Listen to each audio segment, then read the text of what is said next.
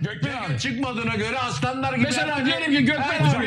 Gökmen abi şu anda senin affedersin. böyle Müsaade edin. Şenol Güneş Müsaade edin. Şu Arkadaşlar Murat Şu Çelik'le anda hazır mısınız? Türkiye hazır mısınız? Biraz seviyesizlik yapacağım. Arkadaşlar hazır mısınız? Bu benim hakkım. Yapma hocam hayır. ne demek Diyelim benim ki hakkım? bizle ilgili. Diyelim ki. Yapma bize. Ama kimse sözümü kesmeyecek terk eder. Ama kimse sözümü kesmeyecek terk eder. Benim sözümü kesecekse arkadaş ben söz kesmek Türkiye Hocam şampiyonu. ama bir şey Hocam ne zaman Nasıl tehdit ediyorsun? Yok gidelim gidelim. Hadi biz gidelim. Bu yayında kimse kimseyi etmesin. Ne demek gidelim ya? Kesme abi ama kesme Sinan kesme hocam. Ya tehdit ediyor ya. Böyle bir şey yok hocam. Biz de buradayız. Kesme diyor. Kesmeyin abi sizden. Beyler ben kimseyi falan tehdit etmiyorum. Dün akşam ikiniz de Ben tehdit etmem. Yap hocam yap. Ben tehdit etmem yaparım. Diyelim ki Gökmen Özanak abimiz 68 yaşında bir abimiz. Diyelim ki ciddi basur problemi var.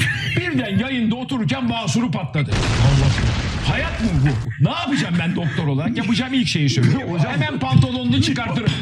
Kilodunu çıkartırım, basuruna tampon yaparım. Kanamayı az.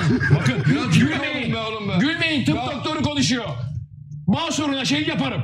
Buz, üstten buz, üstüne pansuman. Basuru kanamasın. kanı kesin. Ben buradan hemen ambulansı çağırırım.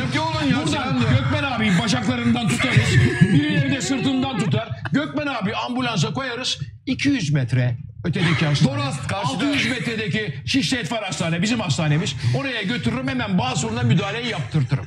Ama basuru patlamışsa Hocam, niye pantolon altında olmaz. Kilot bile olmaz. Niye basur hocam? Niye basur öyle Mesela diyorum. Basur öyle Mesela diyorum. Beni takip edin. Hepiniz.